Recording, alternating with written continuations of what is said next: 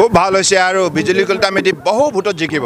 BJP আৰু আপোনালোকে জানে যে গোৱালপাৰা জিলা এছপাৰেশ্যনেল জিলা আছিল। আৰু মোদী ডাঙৰীয়াৰ বিশেষ পদক্ষেপত প্ৰধানমন্ত্ৰী ডাঙৰীয়াই ভাৰতবৰ্ষৰ বুকুত এশ বাৰখন এছপাৰেশ্যনেল জিলা আছে তাৰ ভিতৰত অন্যতম আছিলে গোৱালপাৰা।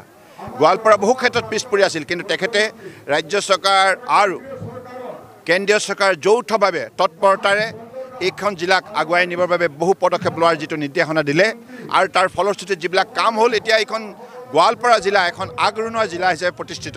গতিকে এইখন জিলাই ভৱিষ্যতৰ দিনত ভাৰতবৰ্ষৰ অন্যতম উল্লেখযোগ্য কেন্দ্ৰবিন্দু হ'ব।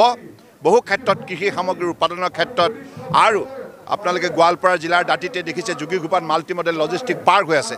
এইখন আন্তঃৰাষ্ট্ৰীয় পৰ্যায়ৰ জাহাজ ঘাট হ'ব য'ত নেকি ৰেল ৰোড আৰু ৱাটাৰৱেজ তিনিটা আমাৰ যোগাযোগৰ ব্যৱস্থা তাত গঢ়ি তোলা হৈছে। গতিকে চুবুৰীয়া ৰাষ্ট্ৰ বাংলাদেশ ভূটান নেপাল ম্যানমাৰ থাইলেণ্ড ইয়াৰ খেতিয়ক ৰাইজৰ যিখিনি উৎপাদিত সামগ্ৰী ভৱিষ্যতত আন্তঃৰাষ্ট্ৰীয় বজাৰ তেখেতসকলে বিক্ৰী কৰিবলৈ সক্ষম হ'ব।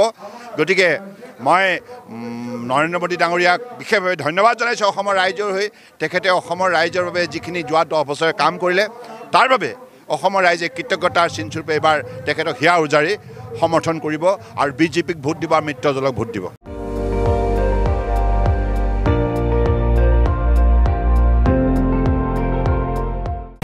আপুনি চাই আছে এন ডি টুৱেণ্টি ফ'ৰ। সৰ্বশ্ৰেষ্ঠ নহয় সৰ্বোত্তমৰ দৌৰত।